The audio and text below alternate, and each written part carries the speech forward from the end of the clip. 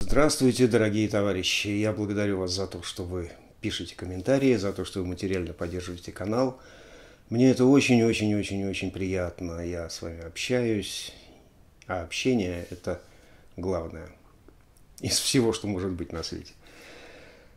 Ну, и хочу напомнить о существовании плейлистов, потому что продолжаются э, просьбы показать ту или иную пластинку.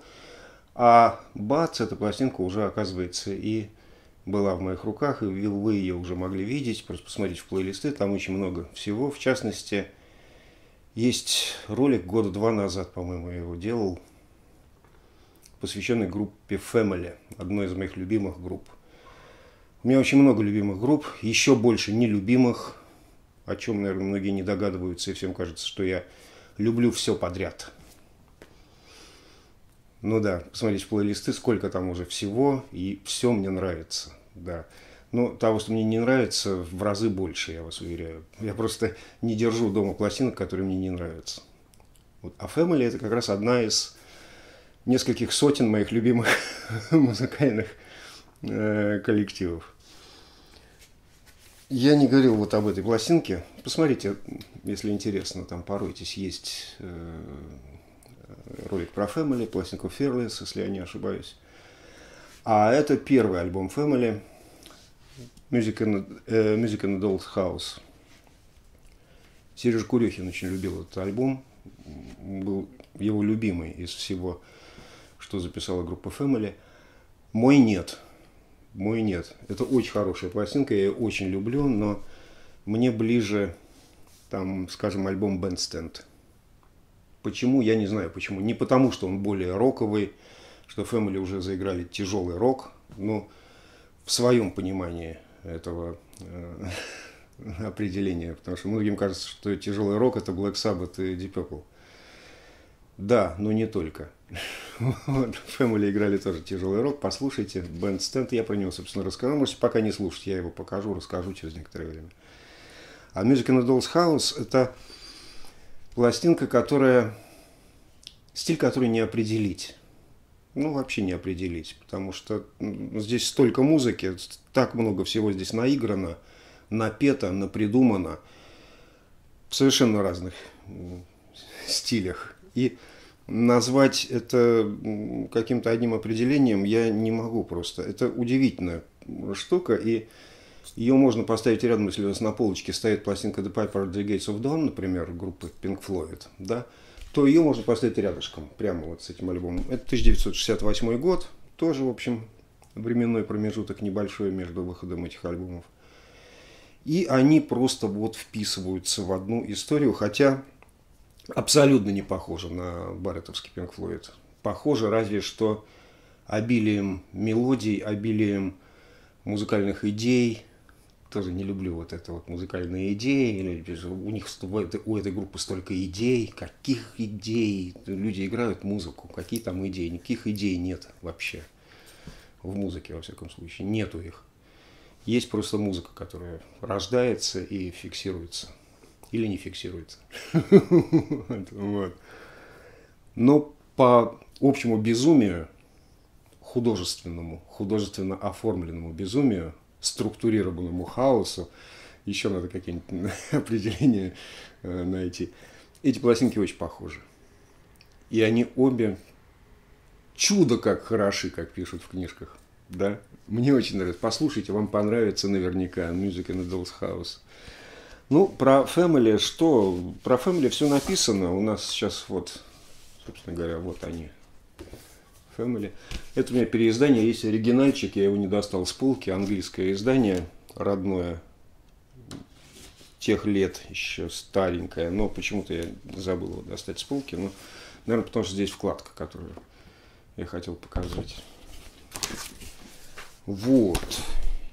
И, конечно, да, про группу Family, да, родилась она, условно говоря, в 1962 году, группа, не помню как называлась, Фаринос, по-моему, называлась группа Джона Уитни, гитариста, который сопровождал Роджера Чапмана, я вернусь потом к нему, до, в общем, не до, а много-много-много-много лет, и уже в сольной карьере Роджера Чапмана тоже участвовал, и группа Streetwalkers, которую э, Чапман организовал после э, распада Family.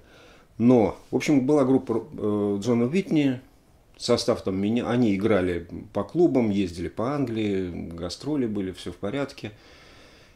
И потом состав менялся, менялся, менялся, менялся. Пришел туда Рик Греч, замечательный музыкант, и пришел тот самый Роджер Чапман, которого я упоминал, да, только что, с диким голосом. Это один из моих, опять-таки, один из моих самых любимых британских э, певцов, вокалистов. Э, орет так, что просто, ну, про него говорили, что он может убить маленького зверька на расстоянии там нескольких сотен метров своим криком.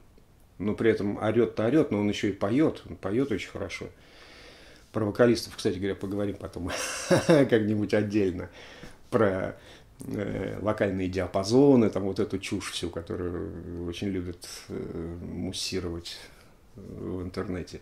Ах, у него какой диапазон, у него 4 октавы, у него там 5 октав. То есть это, это настолько непрофессиональная оценка, настолько она вызывает э, улыбки у профессиональных музыкантов, вокалистов, когда они читают вот это все про эти 4 октавы. Качество пения не зависит, в двух словах сказать, качество пения не зависит от э, количества октав, которые певец может взять. Просто для начала. Но тембр неподражаемый совершенно у Чапмана.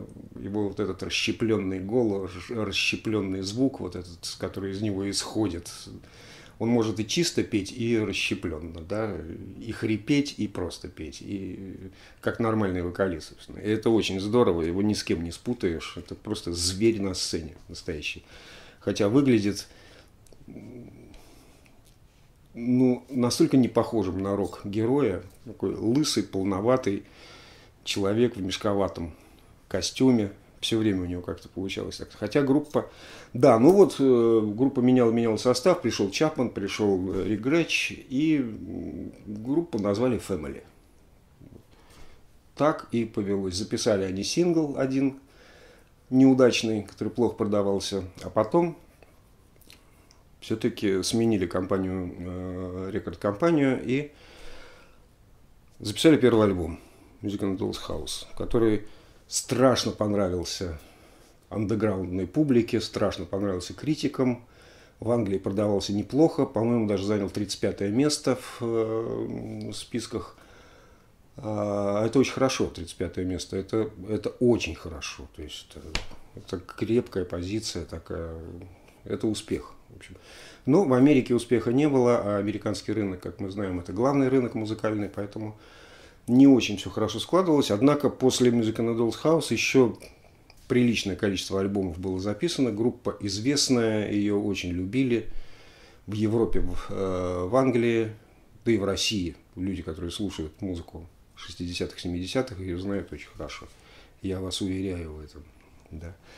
Но что касается стиля, я, я уже говорил, что здесь такое количество всего, что очень удобно обозначать ее как прогрессив рок или как арт-рок. Вот за что я, я смеюсь всегда над определением прогрессив рок, потому что ну все что угодно туда влезает. Если не придумать человеку, не определить, в каком стиле играет группа, это будет прогрессив рок.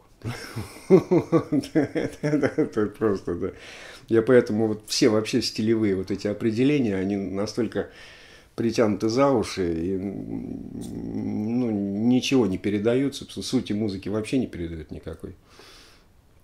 Ну, здесь просто сказать, что здесь очень сложно все, ну, это как посмотреть. Это как посмотреть.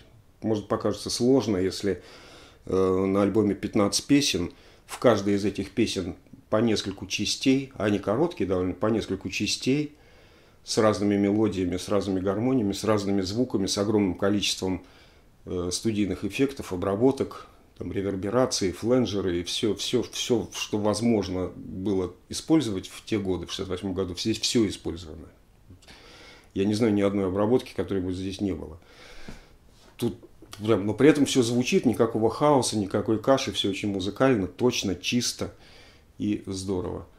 Ну, наверное, это тогда прогрессив рок, да. Хотя мелодии внятные, сыграно все чисто, здорово, академично и красиво. Роджер Чапман, соответственно, вокал, гармоника, саксофон, Джон Уитни – гитары, э, Джим Кинг, тенор, сопрано, саксофон, гармоника, вокал, Рик Грэч, бас-гитара, скрипка, виолончель, вокал, и Роб Таунсенд, гитар, э, ударная перкуссия.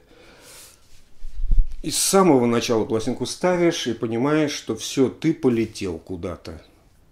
И либо снимаешь иглу, потому что не хочешь летать, а хочешь какой-нибудь музыки типа Smoke on the Water, либо продолжаешь слушать дальше и продолжаешь летать. Тут другого, других вариантов нет совершенно. The Chase, первая э, пьеса с хоровым запевом, странно таким квази-оперным. И в другую сторону вдруг музыка меняет сразу направление. Тут такая понеслась история со сложной вычурной мелодией.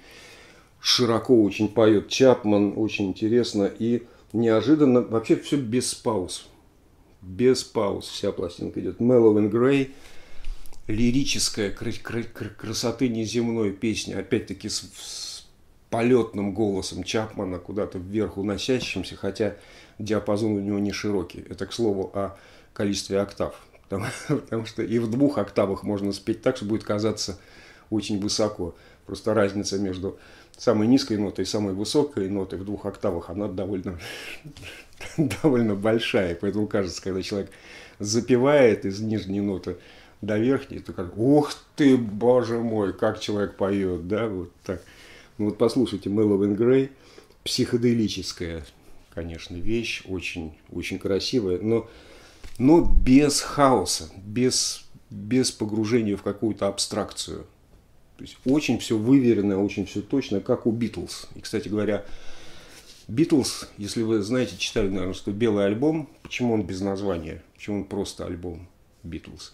Потому что Битлз хотели назвать его э, Doll's House, а Family быстрее назвали свою пластинку Music in a Doll's House. И Битлз ничего не осталось сделать, как отказаться от этого названия. Да, продюсировал альбом э, Ник Мейсон из группы Traffic, с которыми дружили очень музыканты Family, и составы их пересекались впоследствии некоторым образом. А Трафик в те годы тоже были, в общем, группой такой погруженной в психоделическую музыку. Отдельно про них расскажем. Поэтому продюсерская работа здесь дала свое. Здесь вот это все, вот этого всего. И работа с обратной записью, и эффекты с торможением и ускорением ленты магнитофонной, на которой идет запись. Все здесь присутствует в полной мере. А продюсировать изначально должен был э, Джимми Миллер. Но он был занят работой с группой The Rolling Stones, записью альбома Bigger's Banquet, поэтому Мейсон справился. Какой ник? Дэйв Мейсон. Господи, что это? Этих Мейсонов как, как собак. Дэйв Мейсон, конечно же. Что я несу. Да, про группу Трафик отдельно потом поговорим. Uh, Never Like This после Mellow and. Опять около оперные, около какие-то какие-то вот не классическое пение, не, фраз классических здесь нет. И группа Family не вошла в обойму так называемых вот этих групп, играющих арт-рок. И она очень отличается от Genesis, от Yes, да, от Emerson Lake and Palmer, потому что они никогда не использовали фраз классической музыки, никогда не опирались на наследие вот этой европейской классики, не цитировали ничего никогда, играли свою совершенно музыку. Поэтому люди так, как говорят, ну вот, арт-рок это когда вот это вот Эмерсон, да, картинки с выставки или там все, все остальное, да. А это что? А это какой-то там ля-ля-ля. Ну, это, это не исключает сложности, фантазии и качества музыки, на самом деле. Me, my friend – драматическое пение вдруг начинается, драматическая какая-то душераздирающая песня, которая переходит в Winter, прекрасный психоделический а-ля Beatles, какой-то даже такой номер Old Song, New Song, и дальше Hey, Mr. Policeman на второй стороне. Ну, кажется, совсем уже куда-то в простоту в какую-то, хотя тут и саксофоны, и струнные, и все это очень прописано, обработано безумно красиво и сложно. И вот и как бы хочется сказать, что и арт-рок, да, а с другой стороны вроде и фолк, вроде и джаз, вроде и просто рок, ролл, и как-то поэтому и не определишь, что это такое. Но э, дико интересно. Through Windows, э, в сторону безумия мы пошли уже Peace of Mind, э, раздерганная песня из кусочков вокальных собрана, но цельная. Вот что интересно. Очень здорово ее слушать. Вояж дальше уже просто какая-то психоделия чистая, с, э, голос над виолончелью парит и поют внятную, точную, красивую мелодию.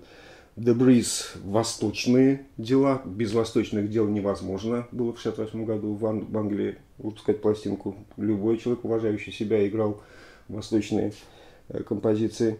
И э, 3x Time, 3x Time, финал просто умопомрачительный с не с джемом даже в конце, а с прописанными партиями группа зарубает. Вот. Family Music in Adults House. Я пошел пить,